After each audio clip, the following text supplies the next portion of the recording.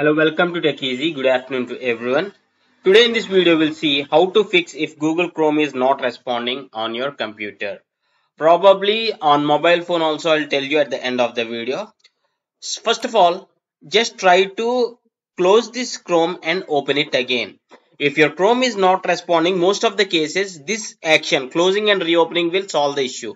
If you're unable to close, even though if you, if you try to close, if it is not responding, just right click at the task menu and click on task manager.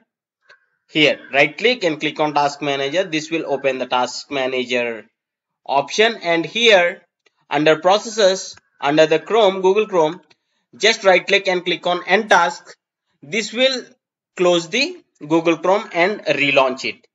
And one more thing you can do is if constantly if chrome is not responding maybe this due to an error on the chrome. You need to click on the three dots click on help click on about the chrome and check whether your chrome is up to date. See here checking for the updates. If there is update available click on update and relaunch so that if there are any errors those will be solved automatically. And one more thing you can do is you need to click on these three dots and then click on the settings here and uh, here under the system there is an option called hardware acceleration. By default this option is enabled. Just try to turn off this and relaunch the chrome.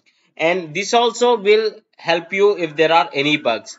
And one important thing most of the chrome users ignore is when you open lot of tabs see here when you open lot of tabs this will take the hardware of the laptop or the system so automatically the Chrome becomes slow and eventually it won't respond. So just you need to close the unwanted tab so that the computer has lot of memory to execute. So the performance will be good. So no lagging or not responding issues on Chrome will be resolved automatically.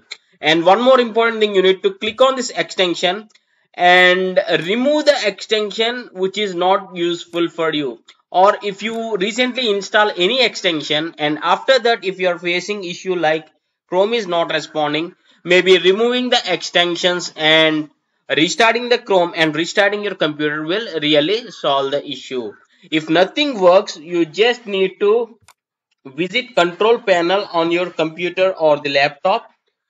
So uh, try to search for the chrome on the installed apps or the install software and try to uninstall the chrome and reinstall it. Means i mean download from any edge browser or any other browser and download the chrome and just install it freshly so that this problem will be completely solved. And let me know in the comments which action or which troubleshooting step has worked for you you need to right click on this you need to right click on click on uninstall so that it gets uninstalled from the computer and reinstall it. I hope you like this tutorial and thanks for watching. Have a nice day